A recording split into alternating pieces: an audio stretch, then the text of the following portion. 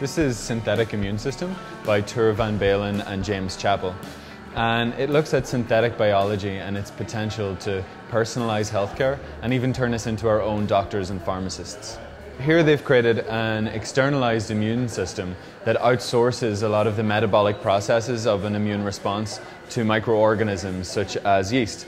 So yeast is used routinely in molecular biology. It's relatively easy to genetically manipulate and it's been used to synthesize proteins and hormones, vaccines and even antigens, the, the proteins on pathogens that allow an immune system to create antibodies and, and mount an immune response. The idea here is that each morning you put a drop of blood on the spoon and dip it into the system. So the system itself has a glass bowl um, that the spoon goes into with, with your blood, and then different globules filled with growing yeast, each manipulated genetically in a different way to create whatever remedies you might need and then you inhale it through a mouthpiece every morning um, before breakfast.